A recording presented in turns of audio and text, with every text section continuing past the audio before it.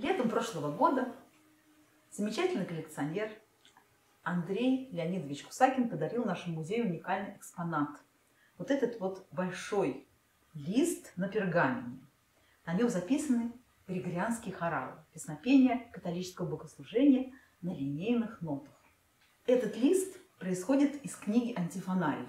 Он датируется XIV веком и был написан, очевидно, в Италии. На нем записаны хоралы на праздник апостола Павла. Это тексты из второго послания к Коринфянам и из Деяния апостолов.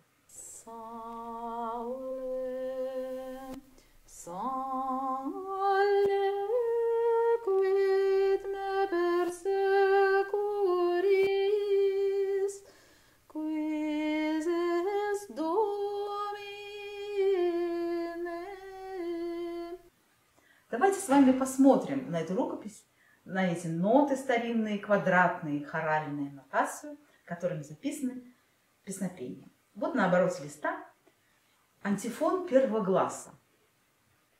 Сауле, Сауле, Савле, Савле, что ты гонишь меня? Обращается Господь к будущему апостолу на пути в Дамаск. Ослепленный светом небесным, Сауль падает на землю и спрашивает, кто ты, Господи?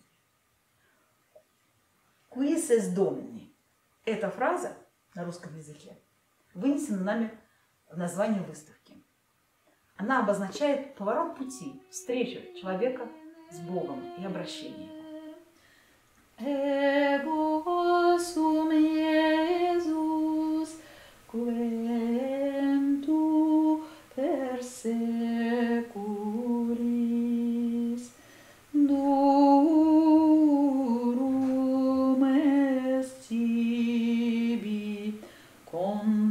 stimulum calcitrarem.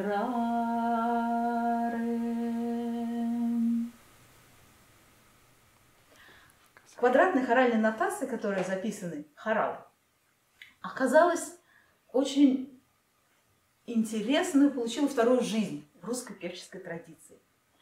Поскольку с XVIII века и до самой революции она была фактически официальной нотацией изданий Святейшего Синода, рекомендованных для употребления во время богослужения.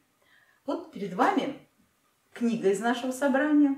Это синодальный обиход десятого теснения, изданный в 1864 году, в котором записаны песнопения знаменного, киевского и греческого распевов.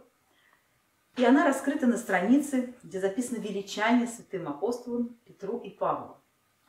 Эта нотация тоже квадратная, хоральная нотация в ее разновидности киевской нотации. Величай